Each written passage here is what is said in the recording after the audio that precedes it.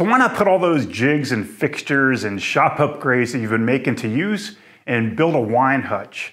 This one that I'm gonna be making is gonna have plenty of space for glassware, and it's also gonna have plenty of space for wine bottles underneath. So I hope you'll join me as I build this thing over the next few videos.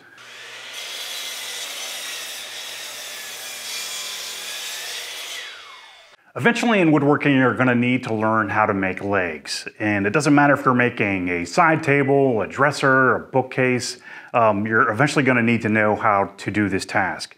And I usually get my legs from a much wider plank of wood and I'll either rip them all out at the bandsaw or I'll use a table saw.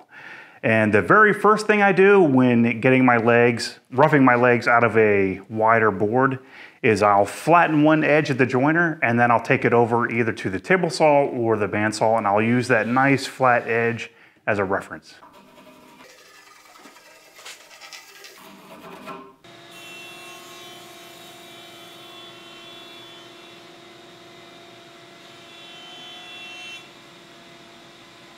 I should point out that at this stage with the jointer, after edge joining this edge, I'm really not concerned with getting this edge perfectly square to one of the faces. I really just want this edge to be nice and flat so that I have a nice reference to use on the table saw rip fence. Now we need to rip these legs to rough width. And I'm gonna do that at the table saw. But you could do this at the bandsaw if you were really concerned about the amount of material you have. Because remember at the table saw, we're gonna lose about an eighth of an inch at a full kerf blade but uh, I should be okay for the amount of stock that I have. And I set the width of the leg to be the thickness of the board because there's really no need to go any wider when I rip these to rough width because these legs are gonna be square. So let's go. Until I start ripping off some of these legs, this blank is gonna be pretty heavy. And to help me support some of the weight at the front of the table saw, I'm gonna use a roller stand.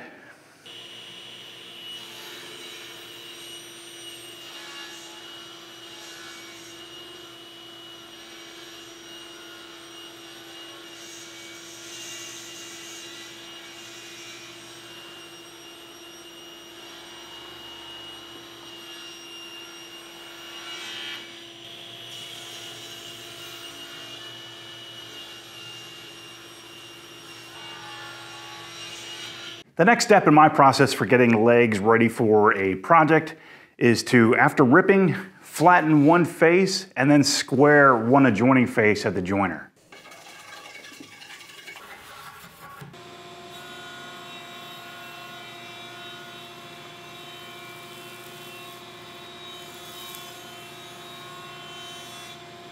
Now I can reference this freshly flattened face up against the fence of the jointer, and I can flatten and square one adjoining face.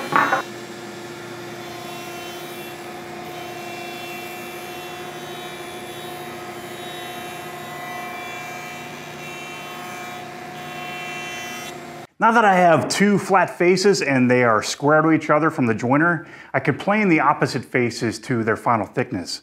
And I'm gonna do that by placing the face jointed sides down on the bed of the planer.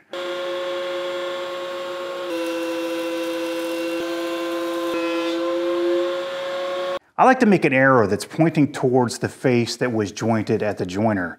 That way I don't accidentally plane the wrong face at the planer. So you always want to plane the opposite face that was jointed at the jointer.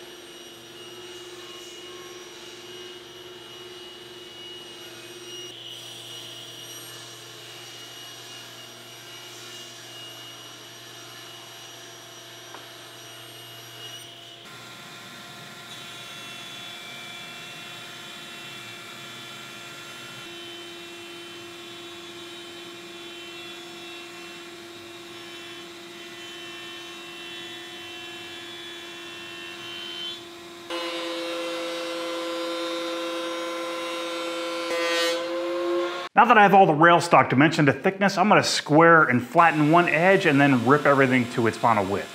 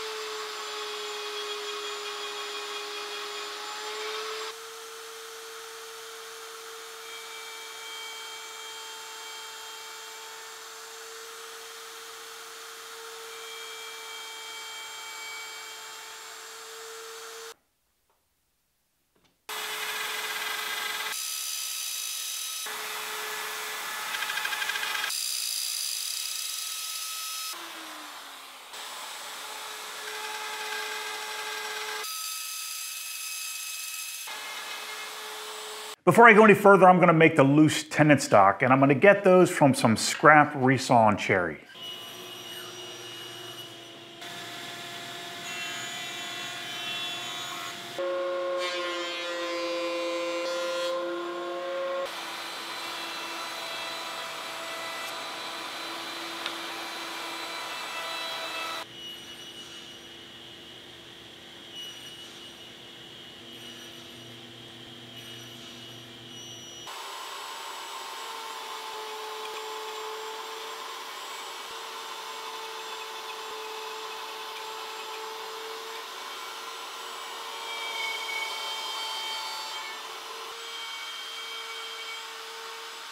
I need to next make the grooves in the posts to receive the panels, and I'm gonna do that using my plunge router and a quarter inch spiral bit.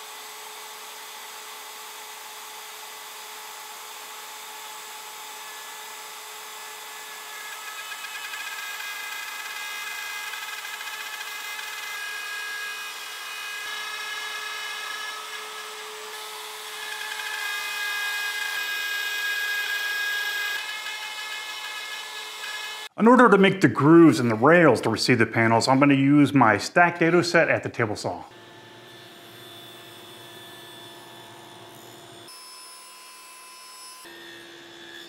At the bandsaw, I resawed a bunch of 5 quarter maple for the panels for the wine hutch.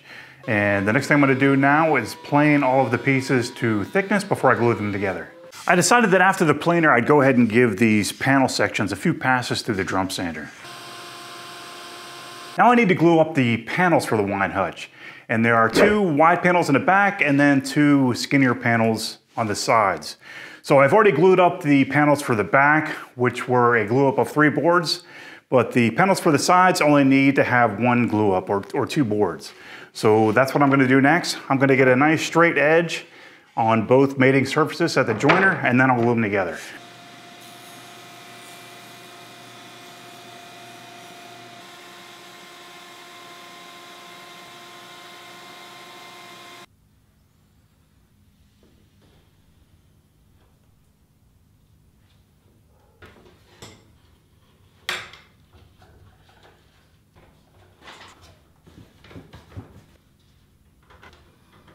I scraped off most of the glue off of the panels and the next thing I need to do is cut them to their final width.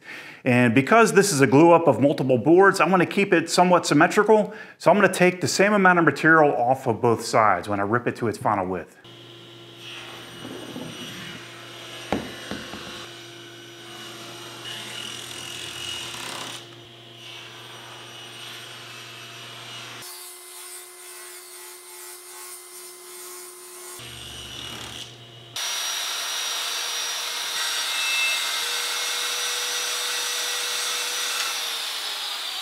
The panels are a little too thick in order to go into their panel grooves.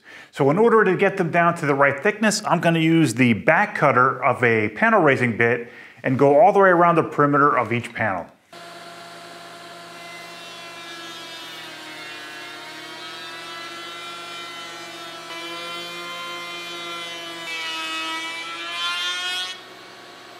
Gonna switch gears for a little bit and move on to making the buttons which are gonna hold down the top to the case. I need to make those before I assemble the case because I need to make the mortises that receive the buttons in the front and back rail.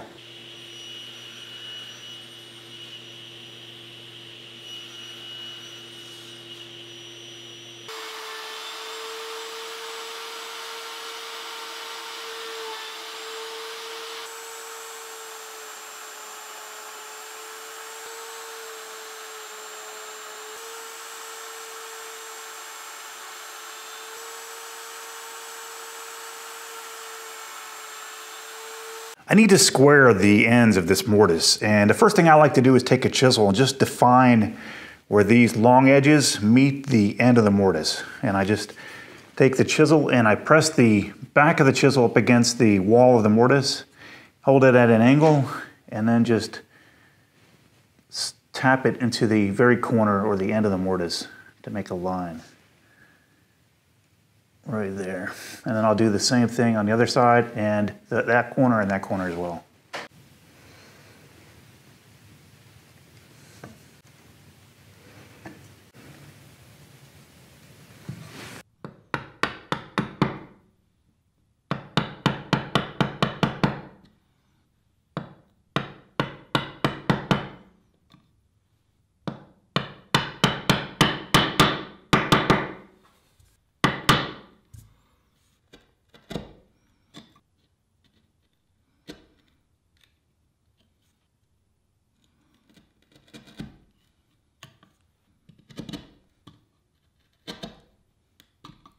Now I can just do the same thing on this side.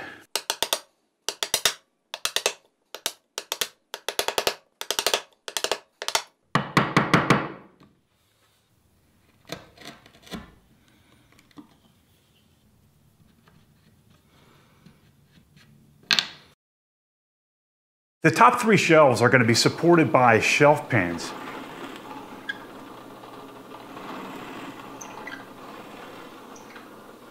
The next thing I'm gonna do is round over some edges on the rails and all of the edges on the legs using an eighth inch radius round over bit. And at this point, when, I, when I'm starting to do the round over process, I can kind of take a little bit of a deep breath because I know I'm getting close to the end.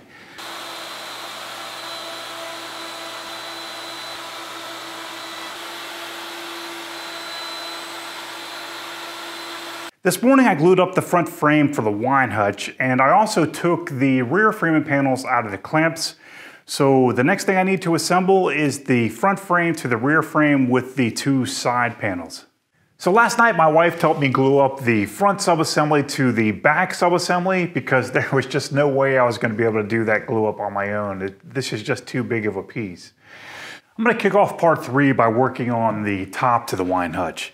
And I'm gonna get that from a long piece of four quarter cherry. So the first thing I'm gonna do is cut off the end of the uh, four quarter board where there's a lot of checking and there's a knot right here. So I'm gonna lose this section right here and then I'm gonna measure out for the material that I need and cut the other side.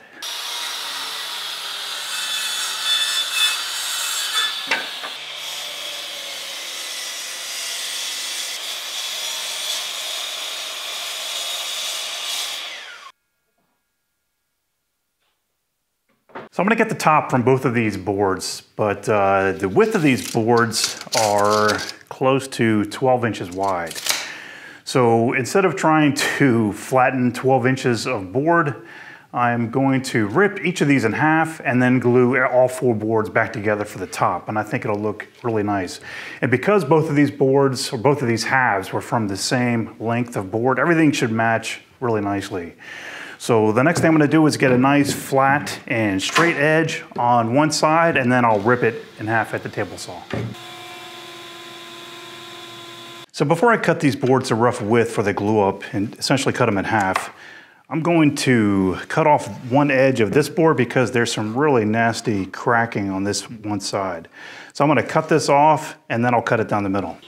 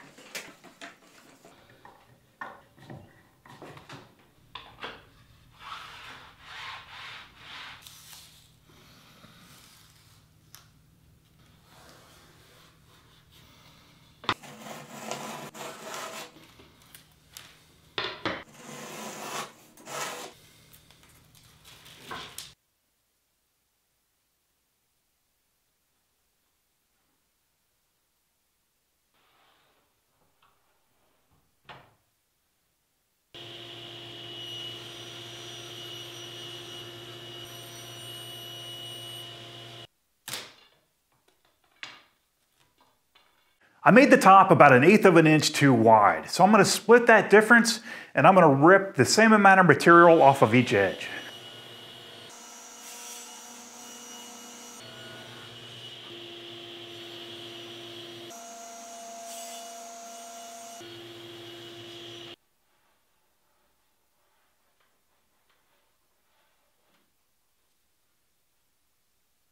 With the exception of the back edges of the top, I'm gonna use a 3 16 inch radius roundover bit on the bottom edges.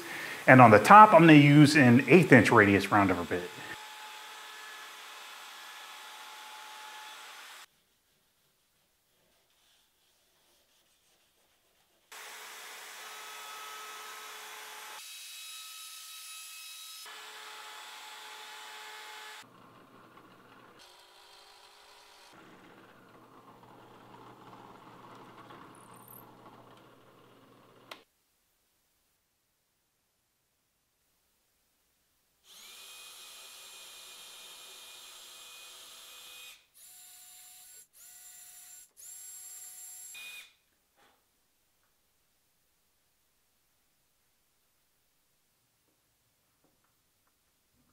I need to make a frame in the back of the wine hutch and it's going to serve two purposes.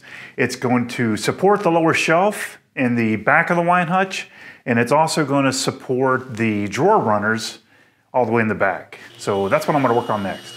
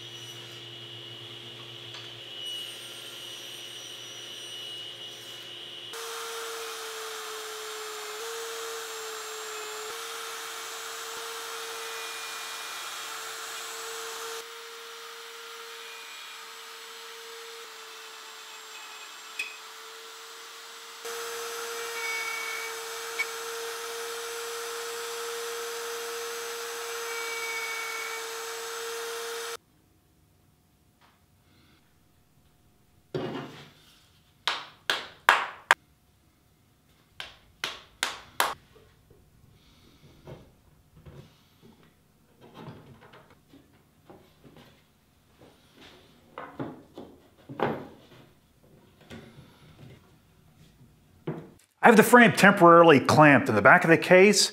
And as I mentioned earlier, this frame is going to support the lower shelf And it's also gonna support the drawer supports and the center drawer guides. And it's the drawer supports and the drawer guides that I'm gonna work on next.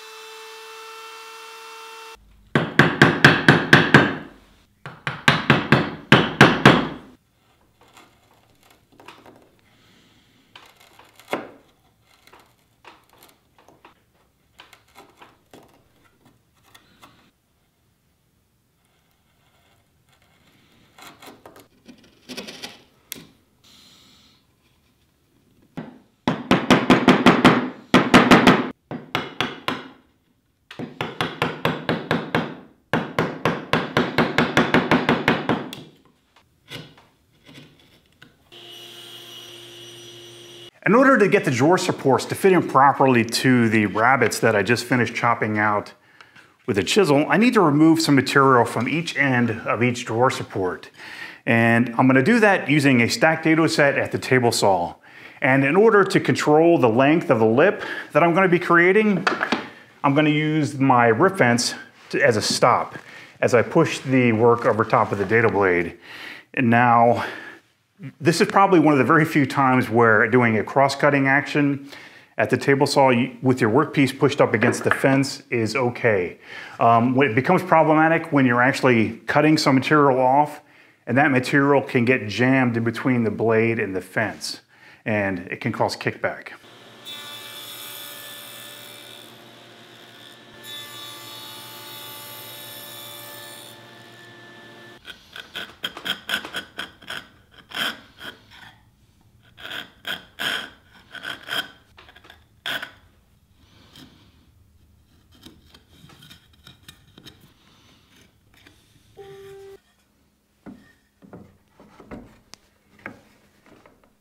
So this is a dry assembly of the system that's gonna support the lower shelf and it's also gonna support both drawers. I'm gonna start working on the drawers next for the wine hutch. And for the drawer fronts and the drawer backs, I'm gonna use this piece of four quarter maple. And for the drawer fronts, I want the grain to be continuous from one drawer into the next.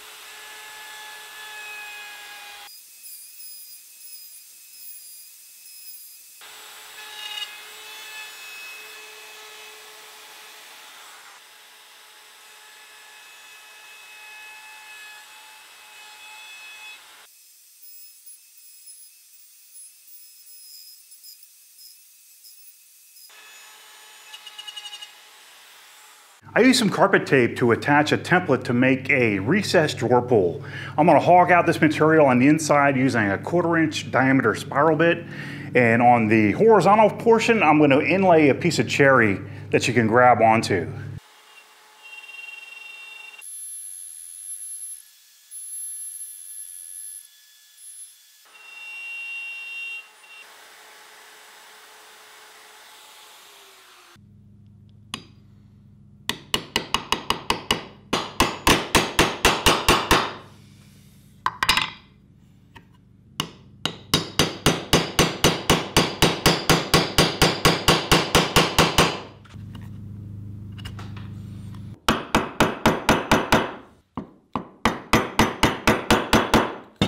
I ease the edges of the circle portion of the recess, and the next thing I need to work on is a piece of cherry that's gonna run end to end across the horizontal portion of the recess. And I'm gonna make it so that it's about an eighth of an inch proud of the surface of the maple.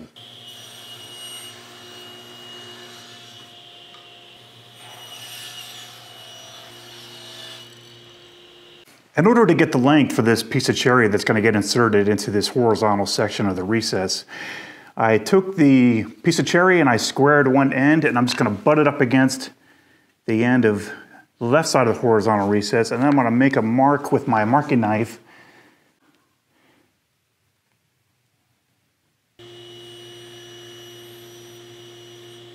When I go to bang this piece of cherry into the recess, I want some assurance that this middle section of the pull is going to be dead flat with the bottom of the recess. So at the table saw, I nibbled away some of the material at the very ends and now I'm just going to clean it up with a chisel.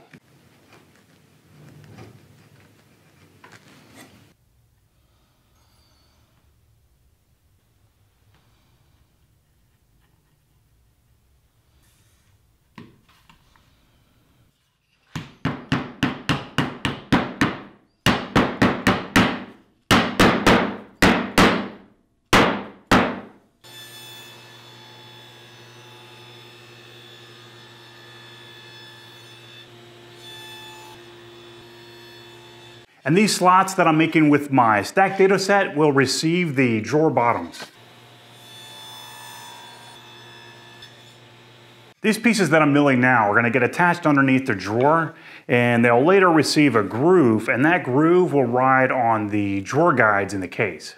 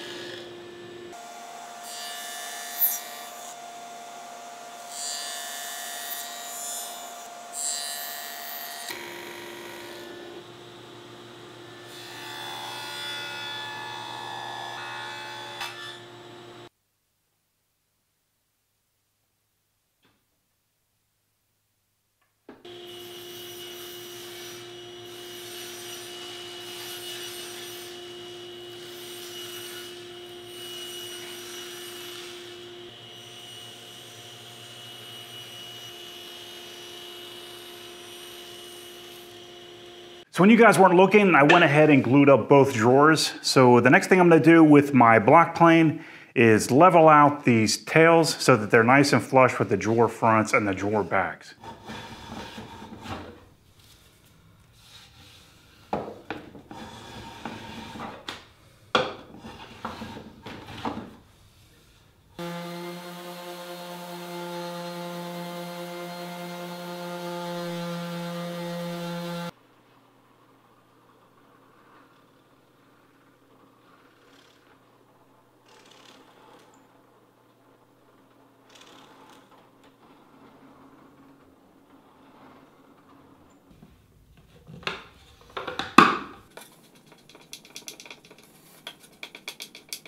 I'm going to next mill the runners from a piece of scrap cherry.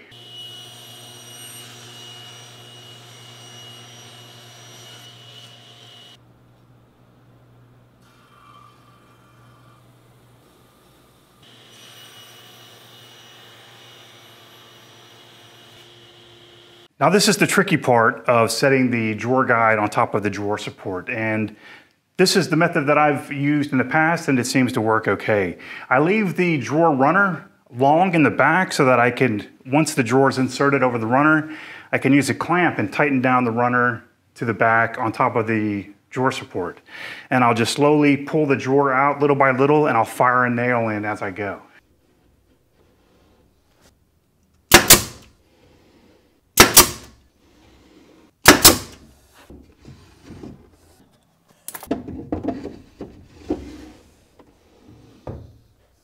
I need the next glue in the kickers, one per drawer. Kickers are what keep the drawer from tipping forward when you go to pull the drawer out.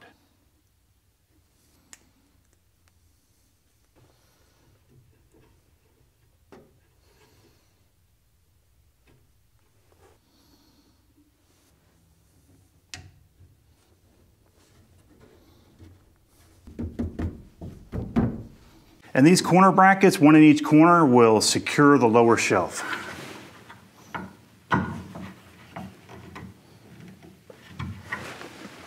For the shelves for this piece, I'm gonna be using 3 quarter inch thick cherry ply.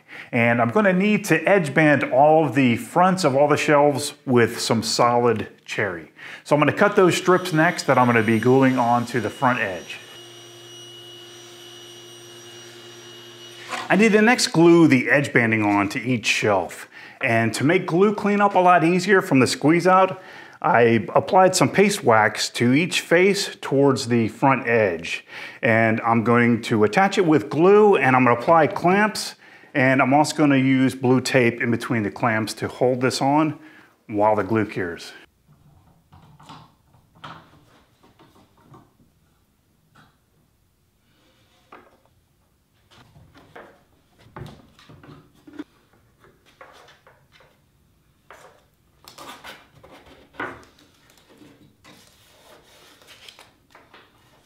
Okay, so I think this is the first time I've tried using blue tape to hold the edge banding on, and it really doesn't do that great of a job. I couldn't get enough pressure applied with the tape in between the clamps, so I just ended up throwing on a bunch more clamps. The edge banding was intentionally left proud of the surface so that I can come back after it's glued up and flush it down to the surface using a trim router. So I'm gonna use a trim router with an edge guide and I'm also using a DIY faceplate that only covers half or the front section of the trim router.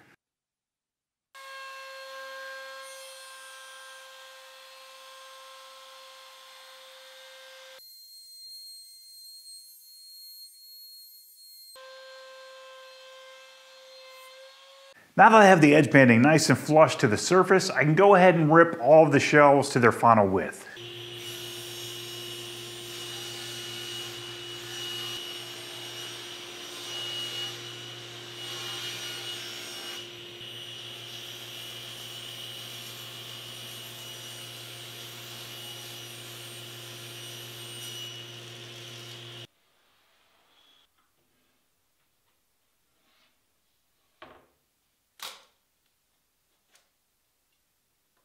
With the shelves cut to length and width, I need to next do the tricky part of this shelf installation, and that's notching around the corners of the posts, and I also need to notch around the back of this center panel divider. So that's what I'm gonna tackle next, and I'm gonna use my table saw and a crosscut sled.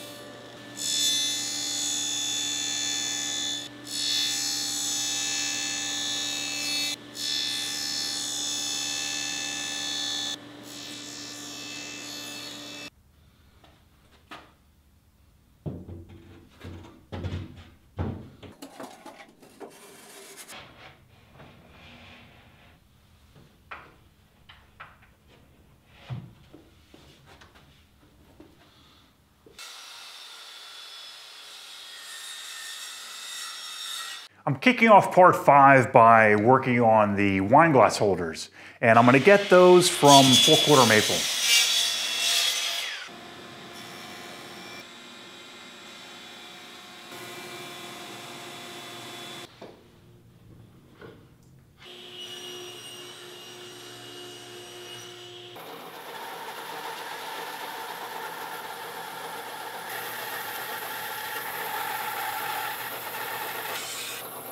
With all those boards resawn, I need to flatten one face and then plane these to their final thickness. And I'm gonna place the resawn face down on the bed of the jointer.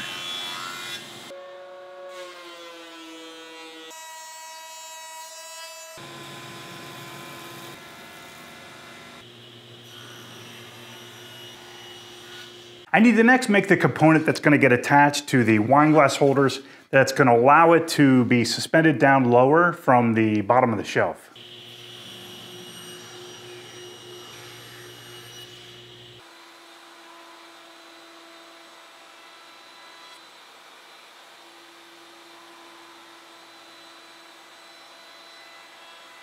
And now for the incredibly boring part, I get to sand 18 of these guys. Yay! I need to glue the two wine glass holder components together. And to help me do that more quickly, because I have 18 of them to do, I set up a little gluing rig. I just take this section of the wine glass holder and I insert it into here. And I just use this little shim to keep it from tipping forward.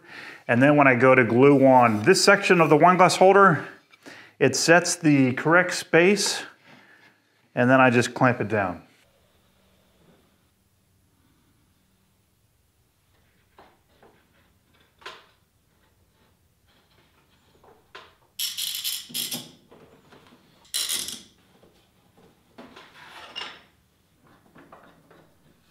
The wine glass holders on either end that are gonna be on the shelves are missing one of the wings on one of the sides. So when I glue this together, I intentionally left this bottom portion a little long so that I can flush this up on the at the table saw and also with a hand plane after it's glued together. So that's what I'm gonna do next.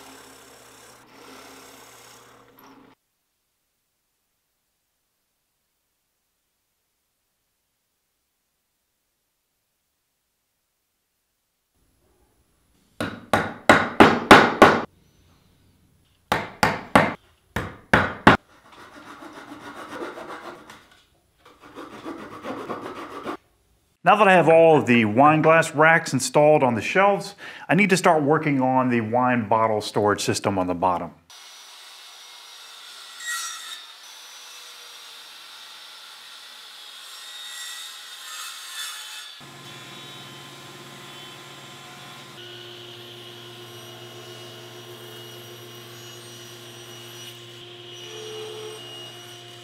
Before I can plane these boards to thickness, I need to flatten one face. And this is where having an 8 inch jointer is going to come in really handy.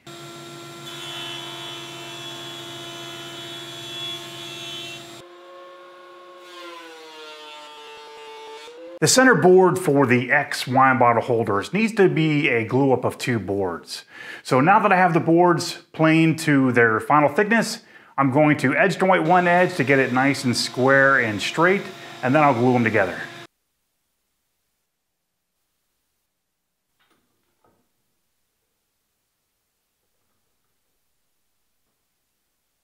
I've got all the panels out of the clamps and I went ahead and scraped off most of the glue from both faces. Now it's just a couple passes through the drum sander.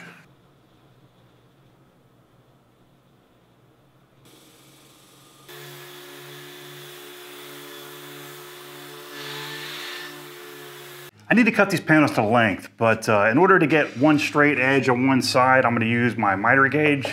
And I can't use my miter gauge in the typical fashion with the fence closer to me because it will fall off the front of the table saw. So I flipped it around the other way and I'm gonna push the work into the fence as I go backwards.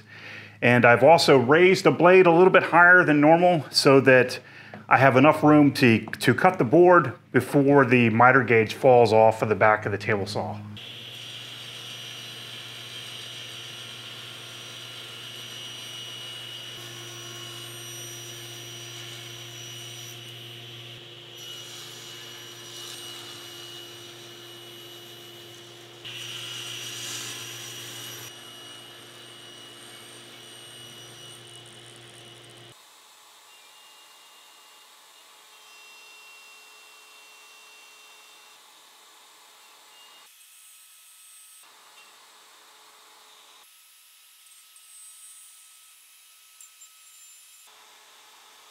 I repeated the process for the opposite face and the tenons will just meet halfway in the middle.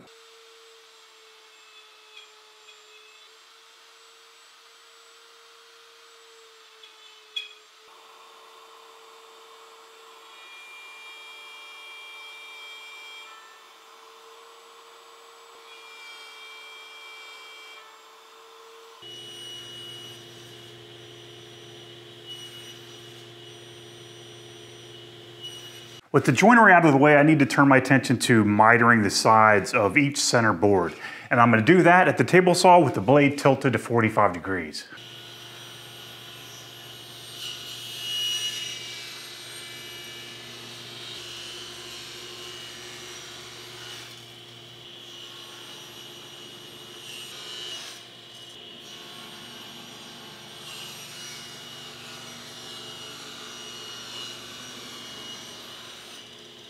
Have all the wine bottle holders dry assembled and the client wants me to inlay a piece of cherry right in the center or a square of cherry in the center of each wine bottle holder for some contrast. So it'll contrast nicely with the maple of the wine bottle holder. So in order to, to remove this square of maple, I'm gonna use a stacked dado set at the table saw. And then once everything is glued together, I'll go ahead and insert the piece of cherry.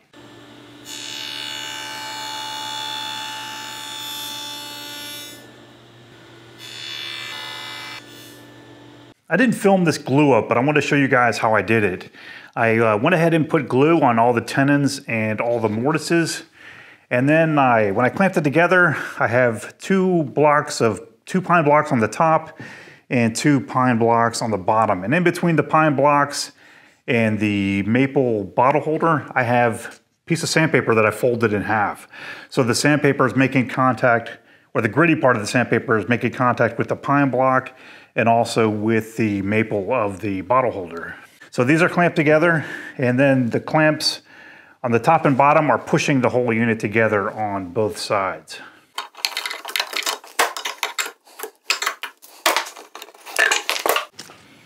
The ends of the wine bottle holders are gonna get a square piece of cherry. So I'm gonna get that from a length of cherry that I'm going to rip at the table saw. And I'm gonna rip it a little bit wide in both dimensions and I'm gonna fine tune the fit uh, by using my dial indicator and making minor adjustments to the rip fence.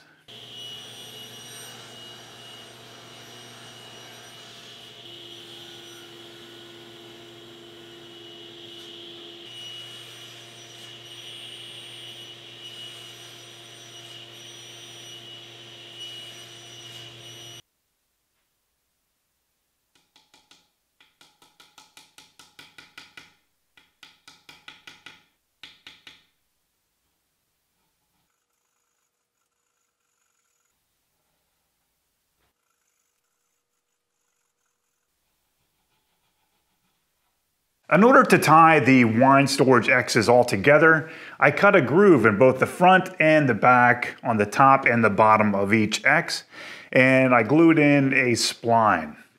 Now, the spline will now be visible on the inside of each cubby, on the, well, these three cubbies, it'll be visible. So in order to hide the spline, I cut a wedge at 45 degrees, and I'm gonna glue this wedge in with a rub joint, And, but in order for it to go over top of the splines, I need to cut a notch in both the front and the back of each wedge.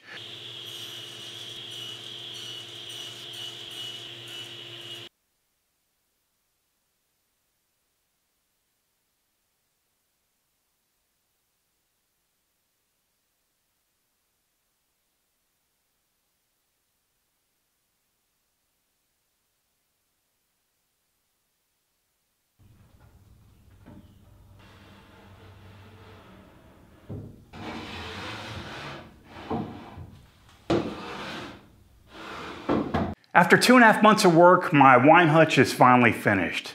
This was definitely a challenging project, but at the same time, it was also a lot of fun. And those of you that stuck with me for all five parts of the build series, I also hope that you got something out of this build as well. Um, I'm gonna sorry to see this guy go. This was a commission piece, so this isn't mine. But uh, I'm gonna be sorry to see it go, but at the same time, I'm gonna be glad to finally get my shop space back.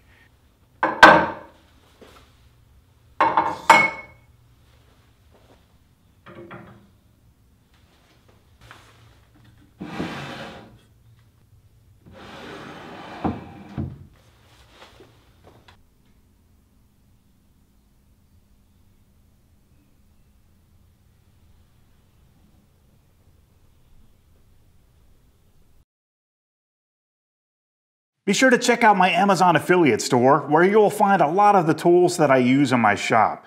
You'll also find a brief description of the tool and what I think of it. You'll find a link to my Amazon store in the description of the video.